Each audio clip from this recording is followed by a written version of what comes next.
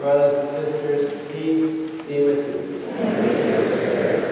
Welcome all of who gather here today to celebrate the solemnity of St. Joseph, spouse of the Blessed Virgin Mary, foster father of Jesus, patron of the Archdiocese of Ottawa, of Canada, and of the Universal Church. A wonderful friend of all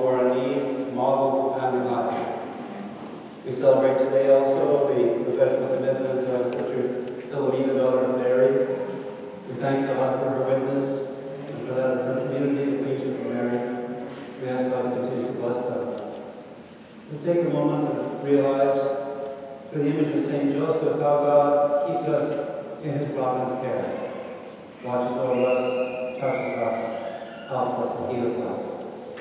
We ask God in advance